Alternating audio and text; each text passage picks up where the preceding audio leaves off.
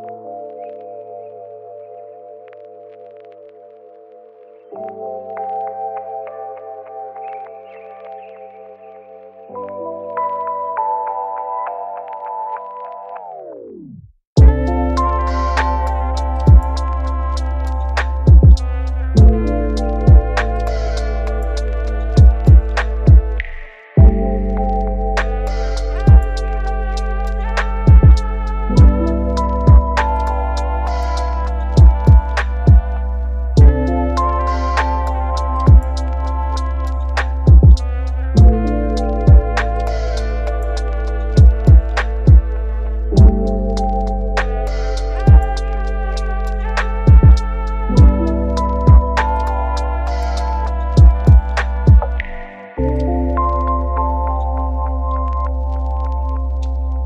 thank you